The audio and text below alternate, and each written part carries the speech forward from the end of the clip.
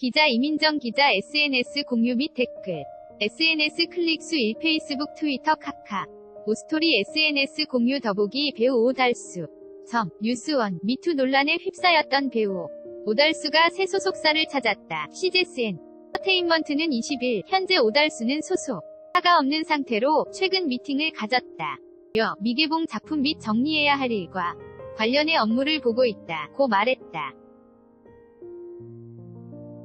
다만 소속사 이적이 새로운 작품에 들어가거나 본격적인 활동 재개를 의미하는 건 아니다. 며 활동 재개 가능성에는 말을 아꼈다. 오달수는 지난해 2월 미투 논란에 휩싸여 활동을 중단했다. 성폭력 가해자로 지목된 오달수는 자신에게 불거진 의혹을 인정하고 공식 사과했다.